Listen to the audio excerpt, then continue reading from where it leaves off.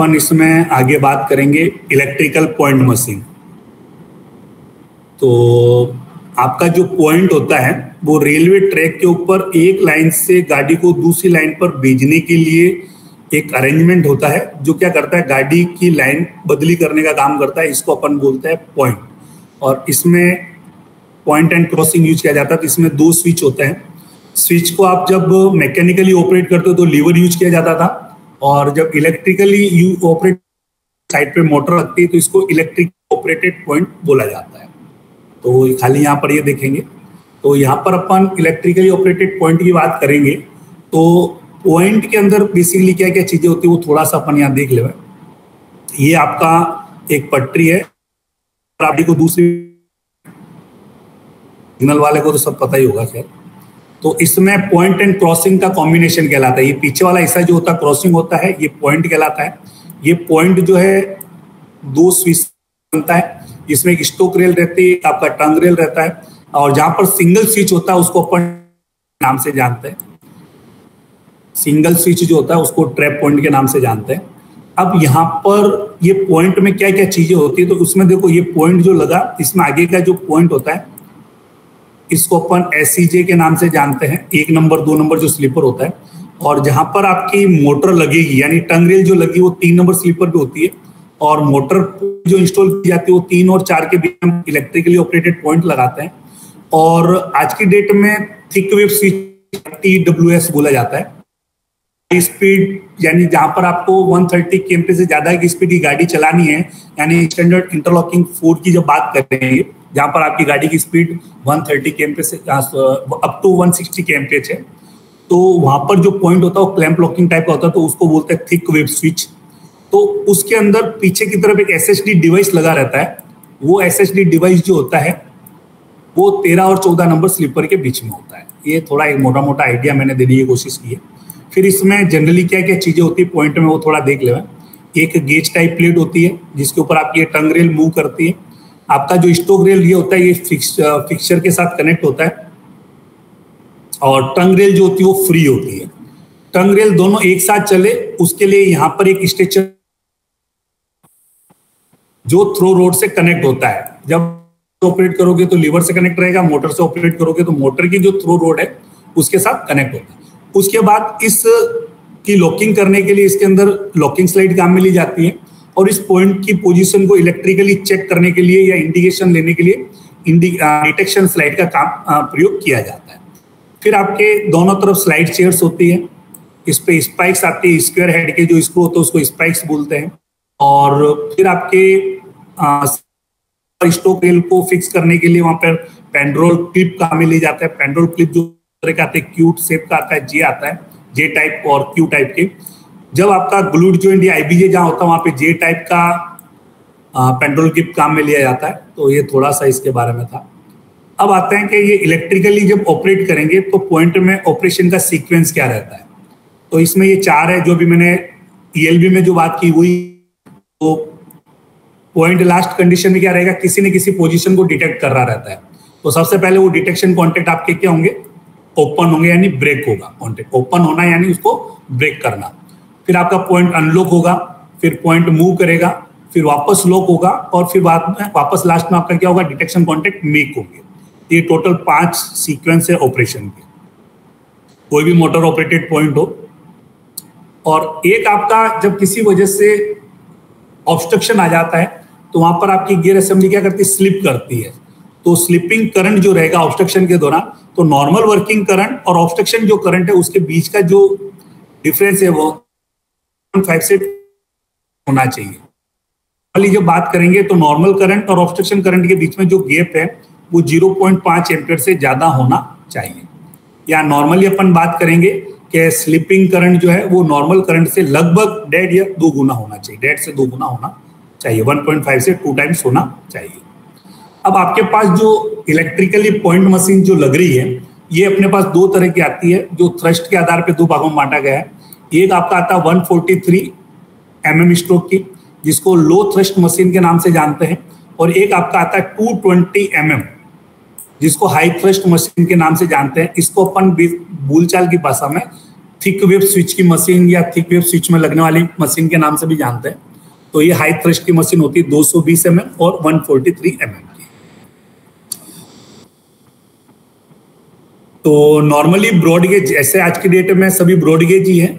तो लो थ्रस्ट की जो मशीन लगती है ब्रॉडगेज में वो 143 एम mm का स्टॉक देती है और हाई थ्रस्ट की जो मशीन लगती है वो 220 ट्वेंटी mm का थ्रस्ट देती है। इलेक्ट्रिकल कंट्रोल की बात नहीं करेंगे P I R R A का आइटम है अपन खाली यहाँ पॉइंट मशीन के बारे में बात करेंगे। तो ये हो गया आपका। आ, उसके बाद आप इसमें आओगे तो इसका स्पेक दे रखा है इलेक्ट्रिकली चेक करने के लिए जितने भी डिवाइस आपकी रिले हो, चाहे आपका केबल हो, चाहे इलेक्ट्रिकल गेट हो एस ट्वेंटी फोर और एस थर्टी फोर ये आपका आरडीएसओ का स्पेक है। उसके अंदर इसके टेस्टिंग इलेक्ट्रिकल के जो पैरामीटर है वो उसके हिसाब से होना चाहिए। पॉइंट मशीन जो काम में लेंगे अपन, चाहे हाई थ्रस्ट हो, चाहे लो थ्रस्ट हो, उसका जो नॉमिनल ऑपरेटिंग वोल्टेज है वो 110 वोल्ट डीसी होगा। 110 वोल्ट डीसी की मोटर अपन काम में लेते हैं। और एक आपकी जो लो थ्रस्ट की जो मशीन होती है, इसको रोटरी टाइप लॉकिंग भी बोला जाता है। और हाई थ्रस्ट के अंदर जो लॉकिंग होता है, इसको अपन क्लैंप लॉकिंग बोलते हैं। वहाँ लॉकिंग का जो अरेंजमेंट अरेंजमेंट होता है, वो क्लैंप टाइप लॉकिंग कहलाता है। तो ये इसमें कुछ चीज़ें हुई है। आपके इलेक्ट्रिकल पॉइंट मशीन के ऊपर, जो कॉन्टेक्ट जो लगी, लगती है, जो उस पॉइंट मशीन को ऑपरेट और डिटेक्ट करने का काम करती है, उसको अपन क्या बोलते हैं इसको ईडी e के नाम से भी जानते हैं, या डिटेक्शन एंड कंट्रोलिंग असेंबली के नाम से जानते हैं, जिसमें आपके कंट्रोलिंग कॉन्टेक्ट और डिटेक्शन कॉन्टेक्ट होते हैं। और वो जो कॉन्टेक्ट होते हैं, वो हेवी ड्यूटी कॉन्टेक्ट कहलाते हैं। और उसमें एक फीचर होता है सेल्फ वाइपिंग यानी वो ओवल शेप में होते हैं और जब ऑपरेशन होते हैं तो इस तरह से मूव करते हैं। कि वो खुद ही अपना क्लीनिंग करते हैं। जैसे अगर मान लो कोई कार्बन डस्ट जमा हो गई है तो खुद ही उसको क्लीन करेगा। ब्रास की स्ट्रिप के ऊपर लगे रहते हैं। और इलेक्ट्रिकल पॉइंट मशीन के अंदर एक रैक एंड पिनियन की असेंबली आती है। वो रैक एंड पिनियन असेंबली क्या करती है? मोटर का जो मूवमेंट होता है, वो रोटरी मूवमेंट होता है। और ये उसको लीनियर मूवमेंट में कन्वर्ट करती है। क्योंकि पॉइंट जो है, आपका लीनियरली मूव करता है।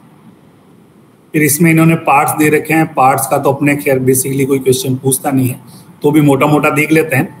इसमें आपकी ये जो होती है सबसे लास्ट में, जैसे ये आपकी पॉइंट मशीन में आप जब खड़े हो तो इधर ये जो हैंडल दिख रहा है, इसको अपन क्रैंक हैंडल बोलते हैं। इसको क्या बोलते हैं? क्रैंक हैंडल जब भी आप यहाँ खड़े रहते हो, और ये क्रैंक हैंडल बॉक्स होता है, जिसको अपन कटआउट स्विच के नाम से भी जानते हैं, या सी एच बॉक्स के नाम से जानते हैं। और क्रैंक हैंडल की चाबी जो है, वो स्टेशन मास्टर के कंट्रोल में होती है। ये ये हैंडल भी स्टेशन मास्टर के कस्टडी में रहता है। और उस समय साइड पर अनऑथराइज कोई ऑपरेट ना कर ले तो उसके लिए क्या करते हैं, यहाँ पर ये अलग अलग चाबियों का कॉम्बिनेशन जो होता है, यानी एक चाबी निकाल के ले गया वो दूसरे में नहीं लगनी चाहिए। ये इसमें इंश्योर किया जाता है। तो ये अलग अलग वार्ड्स की आती है। क्रैंक हैंडल कटआउट स्विच के अंदर इसको बोलते हैं सी एच की और ये क्रैंक हैंडल हो गया। इधर से जब आप खड़े होते हो तो इसमें सबसे लास्ट में जो रोड होती है, उसको थ्रो रोड बोलते हैं। फिर उसके पास में जो होती है, इसको लॉकिंग स्लाइड बोला जाता है। और सबसे लास्ट में जो है, ये ईडी e के अंदर जो होती है, इसको अपन डिटेक्शन स्लाइड के नाम से जानते हैं। अब यहाँ पर अपने पास पॉइंट मशीन दो तरह की आती है। एक अपन आईआरएस पॉइंट मशीन के नाम से जानते हैं और एक अपन सीमेंस पॉइंट मशीन के नाम से जानते हैं। दोनों में डिफरेंस क्या है? खाली लॉकिंग स्लाइड के नंबर का है। यहाँ पर अभी मैं आपको जो बता रहा हूँ थ्रो रोड एक होती है, दो लॉकिंग स्लाइड होती है, दो डिटेक्शन स्लाइड होती है, यानी टोटल पाँच स्लाइड इसके अंदर आती है। टोटल पाँच स्लाइड हो गई। और सीमेंस की जब बात करेंगे तो सीमेंस के अंदर जो होता है, उसमें चार स्लाइड ही आती है, बस यही डिफरेंस है आईआरएस टाइप में और सीमेंस में। तो सीमेंस के अंदर जो टोटल स्लाइड्स रहेगी, आपकी चार ही रहेगी, जिसमें ये लॉकिंग स्लाइड है, वो एक ही होती है। ये खाली ध्यान रखना है। ऑब्जेक्टिव टाइप में पूछा जा सकता है कि सीमेंस में लॉकिंग स्लाइड कितनी होती है? एक ही होती है। और आईआरएस टाइप में लॉकिंग स्लाइड कितनी होती है? वो दो होती है। फिर आपका रिडक्शन गियर असेंबली होता है। रिडक्शन गियर असेंबली का काम है मोटर का जो हाई ऑपरेशन मूवमेंट जो होता है, उसको कंट्रोल करके देना, क्योंकि पॉइंट आपका धीरे धीरे मूव करता है। तो एकदम स्पीड से वो ना चले तो उसको ये प्रोटेक्शन करने का काम करता है। तो रिडक्शन गियर असेंबली होती है इसमें अपने क्वेश्चन क्या आएगा? खाली जो आते हैं वही देखते हैं इसमें। क्रैंक हैंडल की मैं बता चुका हूँ। इसमें ये डिफरेंट वार्ड्स की आती है। ये क्रैंक हैंडल होता है जेड सेप का। ये क्रैंक हैंडल क्या करता है? आपके पॉइंट मशीन का मैकेनिकली ऑपरेशन करने के लिए काम में ले आता है। इसका यूज़ जनरली अपन जब पावर सप्लाई फेल हो जाती है या मेंटेनेंस के दौरान करते हैं मोटर जो रहेगी वो आपकी स्प्लिट डीसी सीरीज़ मोटर कहलाती है। स्प्लिट क्यों बोलते हैं? उसके अंदर दो स्प्लिट, यानी अलग अलग फ़ील्ड होते हैं नॉर्मल के लिए और रिवर्स मूवमेंट के लिए। और इलेक्ट्रिकल स्पेसिफिकेशन आपका जो रहता है वो एस थर्टी सेवन को ये फॉलो करता है। रेटेड जो सप्लाई मैंने बताया था 110 वोल्ट नॉर्मल जो सप्लाई है नॉमिनल 110 वोल्ट डीसी रहेगी और वो प्लस माइनस 25 परसेंट रहता है। आरपीएम आपका 1700 रहेगा। रेटेड करंट जो होता है, वो आपका 5.3 एम्पियर रहेगा। मैक्सिमम जो जाएगा वो 8.5 एम्पियर रहता है। ऑपरेशन टाइम जो होता है वो चार से पाँच सेकेंड होता है, ये एक मोटर का है। नॉर्मली अपन जो लगाते हैं, मोटर सीरीज़ में लगाते हैं तो डब्ल्यूजीआर जो सुनिश्चित करते हैं, या सीमेंस के अंदर तो वो आपका 10 सेकेंड से कम नहीं होना चाहिए। फिर आपके ये मोटर की जो पावर होती है रेटिंग वो आपकी 440 वाट की आती है। और इसके अंदर गियर ऑयल में जो ऑयल यूज़ करते हैं, वो ऐसे ई थर्टी टाइप का ऑयल यूज़ करते हैं। देखो आप यहाँ पे थर्टी आया ईएलबी के अंदर जो लेते थे, वो ऐसे ई नाइनटी लेते हैं। ये थोड़ा सा ध्यान रखें कंफ्यूजन ना हो इसमें।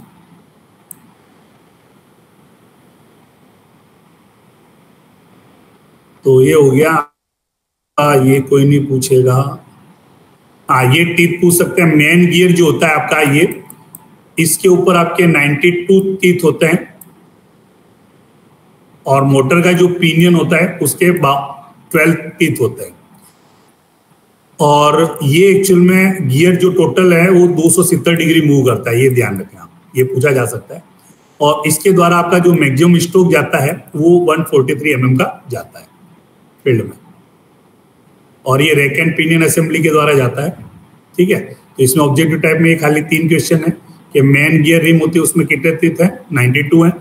पिनियन मोटर की जो होती है, उसमें 12 होते हैं। और ये मेन गियर जो रोटेट करती है, वो 270 डिग्री तक करती है। फिर एक इसमें स्नबिंग के लिए आ, ये मैकेनिकल फ्यूजिंग का प्रयोग किया जाता है।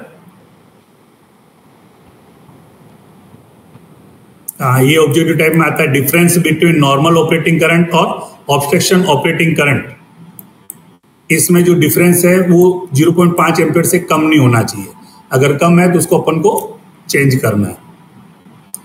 तो आपके जो क्लच अंदर लगा होता है, इसको क्लच असेंबली बोलते हैं, इसके द्वारा एडजस्ट इस करंट को किया जाता है।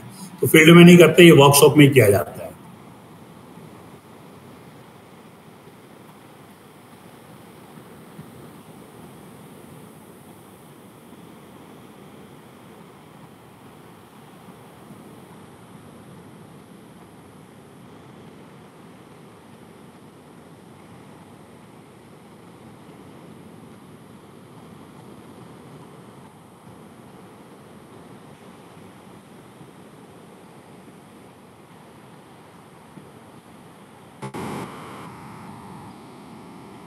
ये आपका थ्रो रोड का इसकी ज़रूरत नहीं पड़ेगी आपको। हाँ ये है आपका ब्रॉड गेज के अंदर जो ओपनिंग है, वो 115 एम mm है और इसमें टॉलरेंस जो दे रखा है प्लस माइनस तीन एम mm का दे रखा है और थिक वेव स्विच के अंदर जो पॉइंट की ओपनिंग आती है, वो 160 एम mm आती है। इसके अंदर भी आपका जो है प्लस माइनस तीन एम mm दिया हुआ है। अब आपका इसमें थिक वेव में ये भी पूछा जाता है, वो हाई थ्रस्ट की जो मोटर होती है, उसमें 220 एम mm का थ्रस्ट या वो डिस्प्लेसमेंट जनरेट होता है तो इसका मूवमेंट कैसे रहेगा, वो ऐसे रहेगा। सिक्सटी अनलॉक के दौरान चलेगा, हंड्रेड आपका टंग रेल मूव करेगा और वापस सिक्सटी जो रहेगा लास्ट में लॉकिंग के लिए चलेगा। तो इस तरह से आपका 220 बीस mm का मूवमेंट हो जाता है।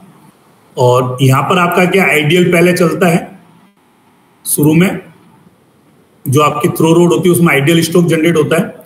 और वो आइडियल स्टॉक डिपेंड करता है आपके ओपनिंग के ऊपर साइड पर ओपनिंग कितना है। तो टोटल स्टॉक है 143 फोर्टी mm और आप उसको ओपनिंग को डिफरेंस घटा देंगे तो जो होगा वो आइडियल स्टॉक कहलाता है। नॉर्मली ये 25 एम mm के आसपास रहता है।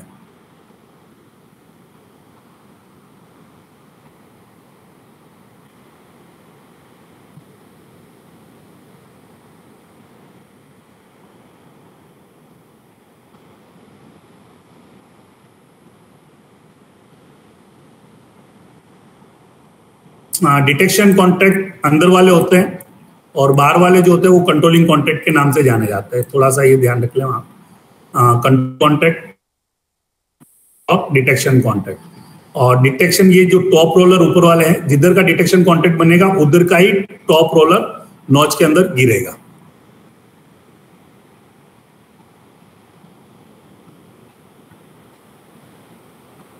अभी इंस्टॉलेशन का थोड़ा देख लेते हैं क्या क्या रहता है इसमें। तो पहली जो स्टेशन बार होती है इलेक्ट्रिकल की जब बात करेंगे तो उसका जो होल होता है वो टो से, यानी जो आपकी टंग रेल का मुँह है, वहाँ से इसका जो स्ट्रेचर बार का जो होल आता है, वो चार सौ सितर पे आता है। ये ध्यान रखना है इसमें आपको।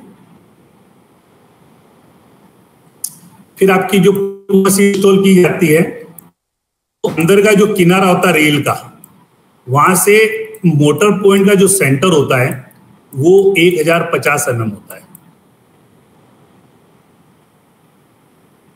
तो ये पूछा जा सकता है, थोड़ा सा इसका ध्यान रख लेना। और एक आपका इसमें क्वेश्चन जो बनता है तो से आपका जो पी ब्रेकेट जो लगेगा डी ब्रेकेट जिसके ऊपर आप डिटेक्शन और ये लॉकिंग स्लाइड को कनेक्ट करोगे, इसका जो होल है फ़र्स्ट वो टो से बावन पॉइंट पाँच एम की दूरी पे आता है।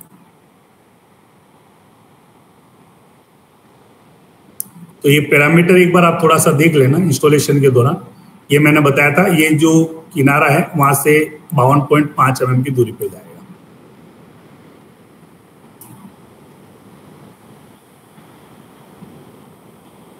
इसमें और कुछ क्वेश्चन ही बनते हैं।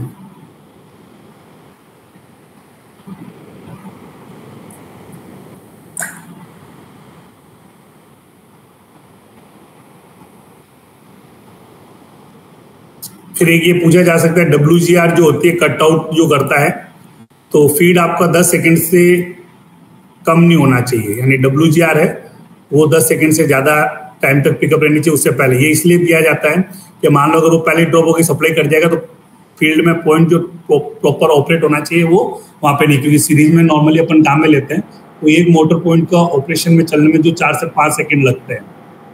तो ऐसा नहीं फ़ील्ड पे पॉइंट पूरा ऑपरेट होने से पहले वो सप्लाई कट जाए। तो उसके लिए अपन उसके जो डब्ल्यूजीआर रिले के द्वारा अपन ये इंश्योर करते हैं कि जो ऑपरेशन की सप्लाई जा रही है, वो 10 सेकंड मिनिमम वहाँ पे जानी चाहिए। उससे पहले वो कट नहीं होना चाहिए। तो ये 10 सेकंड से ज़्यादा ही रहता है।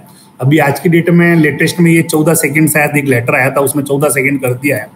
लेकिन वो एक्चुअल में रेलवे वाइज होगा। अपन किताब में 10 सेकंड लिखा रहता तो आप 10 सेकंड इसका आंसर लिखेंगे। डब्ल्यू का जो टाइमिंग है वो दस सेकंड से कम नहीं होना चाहिए। फिर ये तो इलेक्ट्रिकल का जो है वो आपका उसमें पी आई आर आर में पढ़ा दिया होगा रिले का जो सीक्वेंस है। एक ये में ये पूछा जाता है कि मिनिमम आउटपुट और इनपुट में कितनी रिले काम आती है। तो आउटपुट में मिनिमम आपकी तीन है, वैसे कहीं कहीं अलग अलग सर्किट बनाते हैं, वो चार या पाँच हो सकता है। नॉर्मली ये पूछा जाएगा तो यही आउटपुट जो देता है, वो तीन आउटपुट देता है मोटर को कंट्रोल करने के लिए और फ़ील्ड से वापस जो इनपुट लेगा, वो दो लेगा, जिसको अपन एनडब्ल्यू के आर और आर डब्ल्यू के आर के नाम से जानते हैं। ये एनडब्ल्यू के आर आर डब्ल्यू के आर जो है, ये एक्चुअल में आपका वाइटल इनपुट कहलाता है और तीन जो जाएगा, ये वाइटल आउटपुट कहलाता है।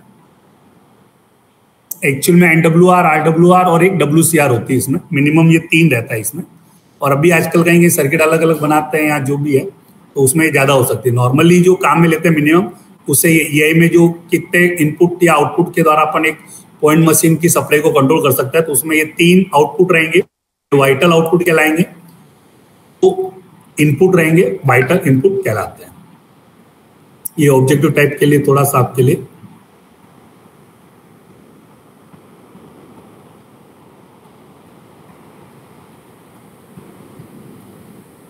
अभी मैं बता रहा था नॉर्मली जो 115 सौ mm होता है आपका, और तीन एम mm अपन स्प्रिंग के एडजस्ट करने के लिए देते हैं तो 143 से ये जब आप लेस करोगे तो नॉर्मली आइडियल जो स्टोक होता है वो 25 होता है। ये आइडियल कंडीशन है एक्चुअल में, ये वेरी करता है, ये डिपेंड करता है आपके ओपनिंग के ऊपर। ओपनिंग अगर चेंज होगा तो ये आपका आइडियल स्टोक भी चेंज होगा।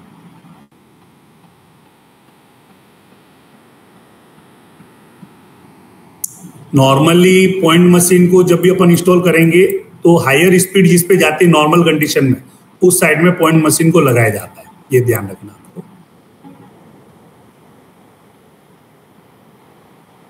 एक इसका मेंटेनेंस शेड्यूल पूछा जाता है।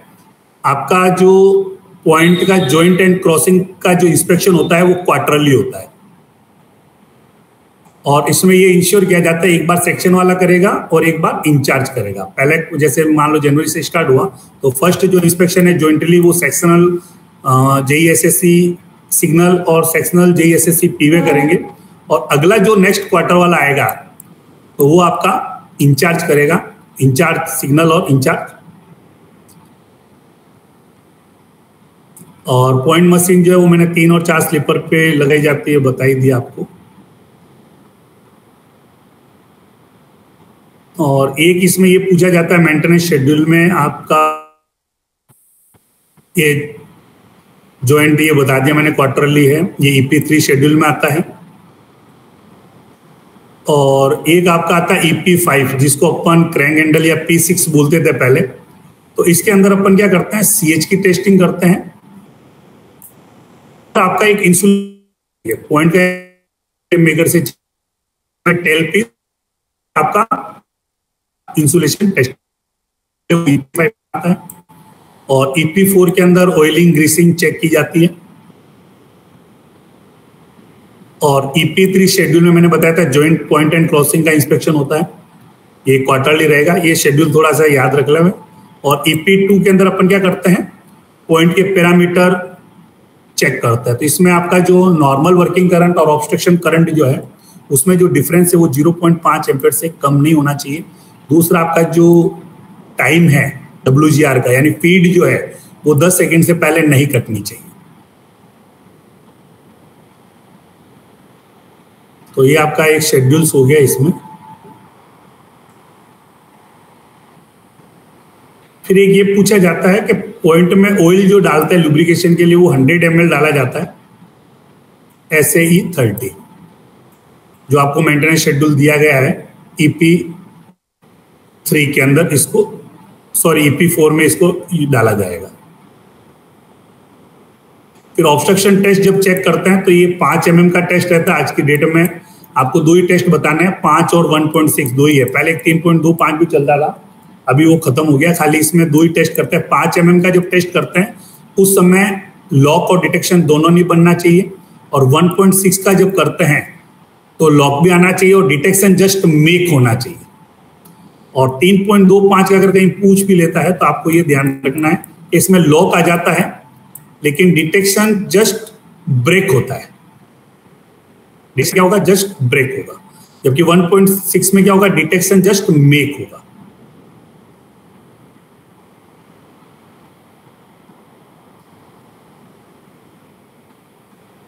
तो ये आपका एक इसमें हो गया। एक पीवे में आपका ये भी पूछा जा सकता है कि आपका जो जो साइड सॉरी स्ट्रेचर बार जो होती है और रेल का जो बॉटम है, इसके बीच का जो गैप है, ये मिनिमम 1.5 है और मैक्सिमम 5 एम mm कर दिया इसको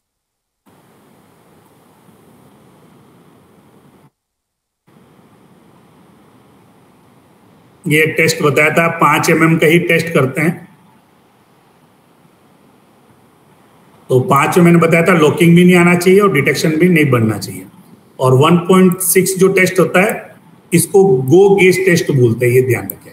और पाँच वाले का एक और नाम है no go gauge test no go gauge test तो ऑब्जेक्टिव में पूछा जाए तो ये थोड़ा ध्यान रखें। नो गो गेज टेस्ट का मतलब होता है पाँच एम mm का टेस्ट और गो गेज टेस्ट का मतलब होता है 1.6 एम mm का टेस्ट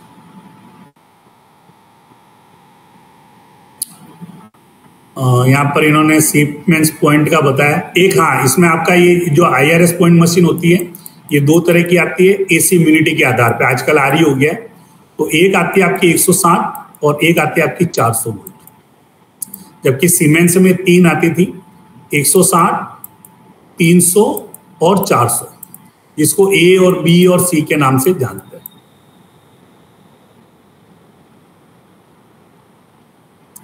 सीमेंट्स में भी देखो ऑब्स्ट्रक्शन करंट और उसमें कोई फ़र्क नहीं पड़ेगा रेटिंग में। खाली एक जो फ़र्क है, वो मैंने आपको बताया था कि आपका जो लॉकिंग स्लाइड है, वो एक ही इसमें आती है। डिटेक्शन स्लाइड दो होती है लॉकिंग स्लाइड एक होती है इसमें। बाकी इसको भी तीन चार हाँ एक इसमें ये रहता है कि स्लीपर के बीच का स्पेस ये आपका पॉइंट मशीन वाइज चेंज होगा। तो ये आपका आईआरएस टाइप मशीन जब होती है तो उसके लिए 715 काम में लेते हैं सेंटर टू सेंटर जो स्पेस है, तीन नंबर और चार नंबर स्लीपर के बीच का, ये आपका 715 से कम नहीं होना आता था 685 mm और थिकवेव स्विच के अंदर ये 745 mm होता है।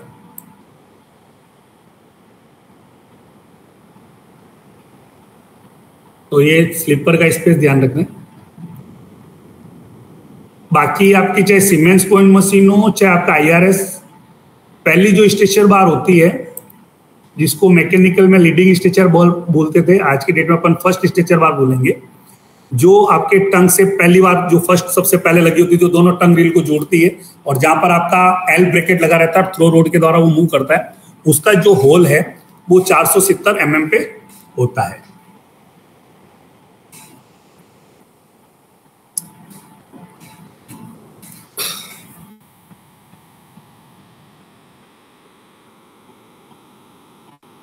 मिनिमम जो वोल्टेज है आपका पॉइंट मशीन का, ये एक्चुअल में सीमेंस और एयर्स दोनों पर काम करेगा।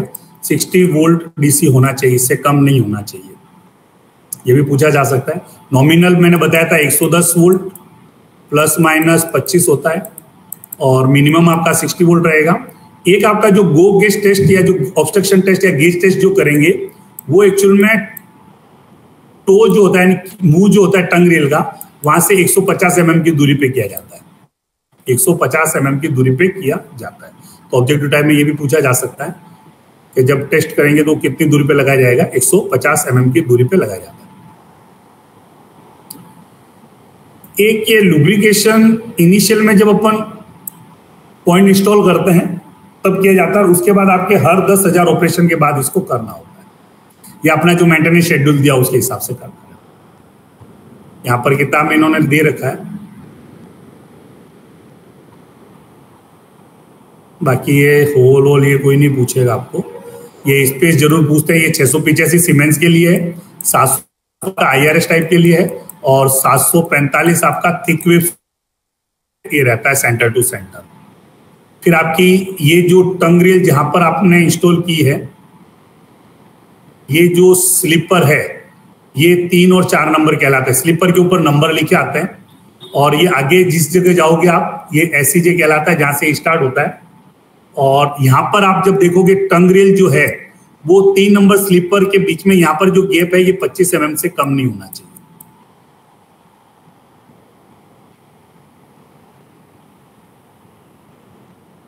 और एक आपका ये जो होल करते हैं तो टंग रेल के बॉटम से जो इसकी हाइट है, ये एक्चुअल में आपके रेल के उस पर डिपेंड करती है। रेल अपने पास आती है बावन के की, एक आती है सिक्सटी के की। तो बावन के के अंदर ये जो है sixty seven M M height पे किया जाता है ये एल जो है वो सिक्सटी सेवन रहेगा और सिक्सटी के के अंदर ये सेवेंटी सिक्स एम एम रहता है। यहाँ पर ये एक्चुअल में ये कोई नहीं पूछेगा आपको। हम्म, ये भी कोई नहीं पूछेगा। 220 हाँ इसमें आते हैं। ये आपकी हाई थ्रस्ट पॉइंट मशीन कहलाता है, जिसमें का स्ट्रोक मिलता है और इसमें जो लॉकिंग होती है, इसको क्लैंप लॉकिंग बोलते हैं। जैसे 143 वाले में रोटरी लॉकिंग था, यहाँ पर एक क्लैंप इसका उपयोग अपन इंटरलॉकिंग होता है, उसके अंदर करते हैं। या 130 के से जिसमें ज़्यादा स्पीड की गाड़ी चलानी है, वहाँ पे इसका उपयोग किया जाता है। तो एक ये आपको पूछा जा सकता है कि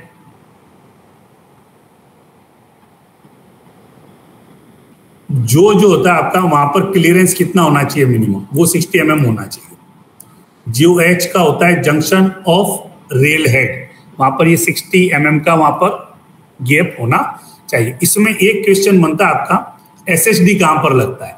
और इसको कौन मेंटेन करता है? तो एस एच डी इसका फुल फॉर्म है स्प्रिंग सेटिंग डिवाइस और ये तेरह चौदह नंबर स्लीपर के बीच में लगता है। तो ये पीछे है और इसको इंजीनियरिंग विभाग मेंटेन करता है। इसका जो पर्पज होता है, वो आपके टंग रेल के अंदर स्प्रिंग यानी फोर्स देना होता है। पहले जो आप यहाँ से देते थे, जो बीच में जो थ्रो रोड से कनेक्ट होकर के जो जाता था प्रेशर जो, वो भी यहाँ से इसको एडजस्ट किया जाता है। यानी स्प्रिंग जो रहती है टंग रेल के अंदर, वो यहाँ से एडजस्ट होती है।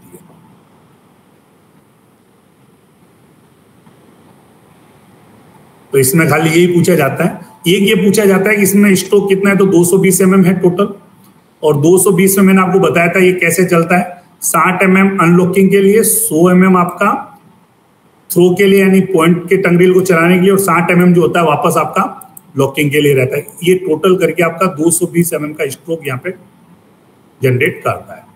तो इसमें यही पूछे जाते हैं। और एक ये इस लगता है तो जाएगा तो इसमें आपका आंसर हो जाएगा तेरह और चौदह नंबर स्लीपर। इसका जो पर्पज है, वो है आपका स्प्रिंग, या स्पीड क्या बोलते हैं इसको? फोर्स देना को जब होती है, उसको। बाकी इसके भी पैरामीटर वही है, उसमें कोई चेंज नहीं है। एक सौ दस वोल्ट डीसी है, प्लस माइनस पच्चीस है, सत्रह सौ में करंट थोड़ा सा इसमें वहाँ से है तो नॉर्मली वही लेंगे इसमें। पाँच पॉइंट तीन एम्पियर है और मैक्सिमम है आठ पॉइंट पाँच। ऑपरेशन टाइम यहाँ पर ये सिंगल का दिया है, चार से पाँच सेकंड लेता है।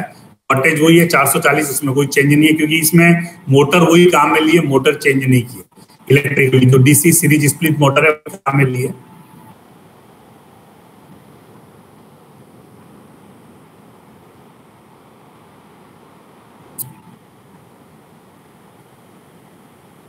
तो इसका एस एस डी का क्वेश्चन जनरली पूछा जाता है, वो थोड़ा देख ये आपकी इस तरह हाँ। ये इसमें ये पूछा जाता है, इसमें इंसुलेशन लगाते हैं तो दोनों तरफ़ लगाते हैं आपका। में अगर ट्रैक सर्किट है वहाँ पर तो उसको शॉर्ट होने से बचाने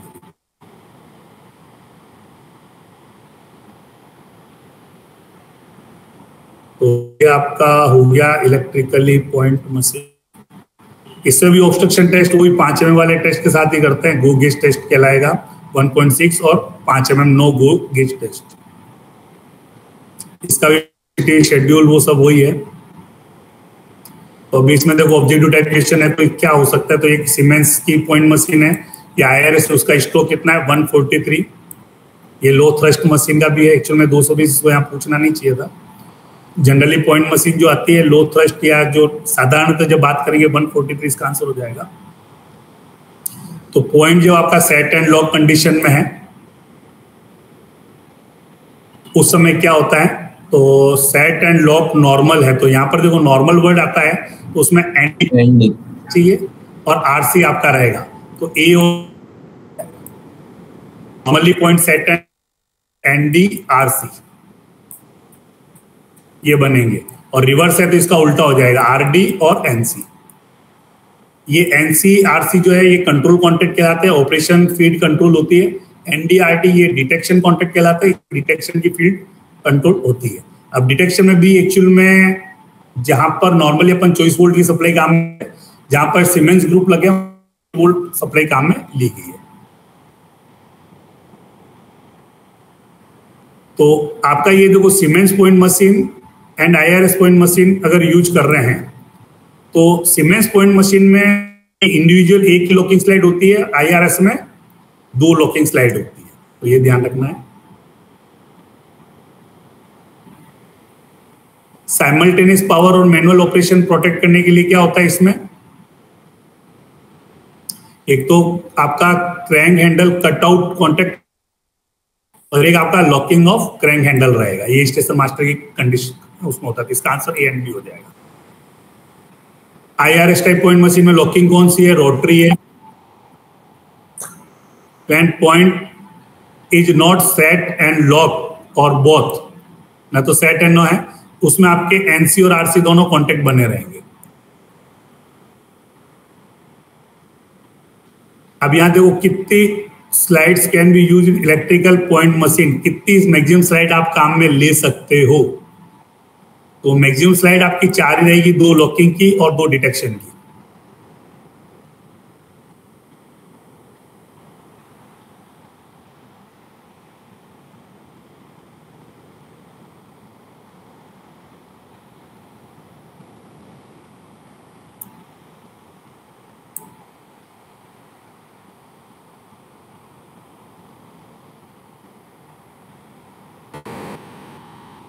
Various detection control contact available I R S Siemens point machine तो दो कंट्रोल कॉन्टेक्ट होते हैं, दो डिटेक्शन कॉन्टेक्ट होते हैं।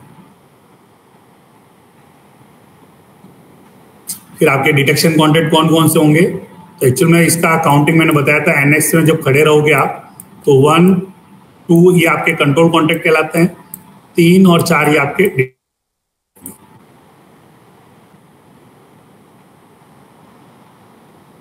तो डिटेक्शन की जब बात करोगे तो तीन, चार और सात, आठ। ये आपके डिटेक्शन कॉन्टेक्ट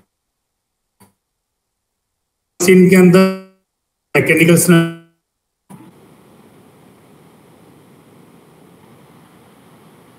ऑब्स्ट्रक्शन टेस्ट जब करेंगे, पाँच एम के साथ पॉइंट लॉक भी नहीं होगा फ्रिक्शन प्लस स्लिप करेगा डिटेक्शन कॉन्टेक्ट मेक नहीं होंगे ए बी सी तीनों। डिफरेंस बिटवीन नॉर्मल वर्किंग और ऑब्स्ट्रक्शन करंट उसमें 0.5 एम्पियर से ज़्यादा होना चाहिए, उससे कम नहीं होना चाहिए।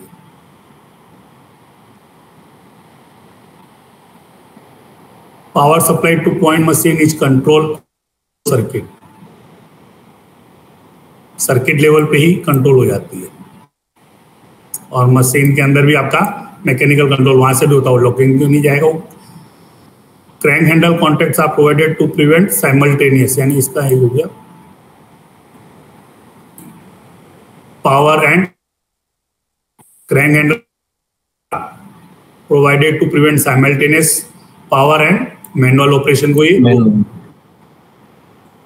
पावर एंड मैनुअल फिर आपका obstruction current shall not be more than two time से ज़्यादा नहीं होना चाहिए।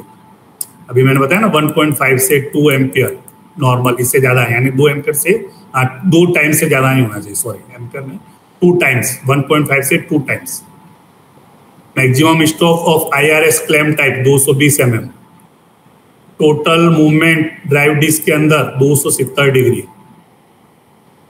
फिर आपका पॉइंट मशीन की एसी इम्यूनिटी तो ये एक्चुअल में 160 वोल्ट ये पुराने के हिसाब से दिया है अभी आपकी 160 भी आती है और 400 भी आती है आईआरएस में।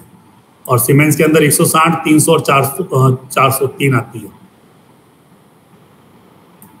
Set and lock in normal तो इसमें आपका एनडी और आरसी बनेंगे। इसमें दे नहीं रखा तो नॉन हो जाएगा। Point set and lock in normal है तो एनडी और आरसी ये नन हो जाएगा। तो इस तरह के इसमें क्वेश्चन आते हैं। तो ये आपका हो गया। सी एल एस हो गया फिर आपका